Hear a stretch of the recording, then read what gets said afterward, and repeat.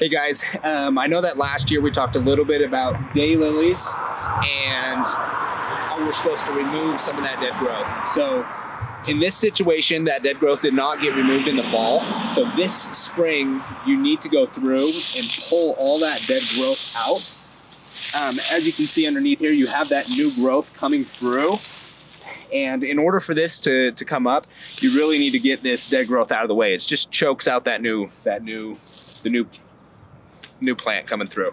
So um, make sure that you're getting out in your, your garden beds, getting all the dead growth out, getting all the weeds out, and uh, getting everything ready for uh, this spring. So if you uh, want assistance with that, give us a call. We'd love to help you out. Thanks. Bye.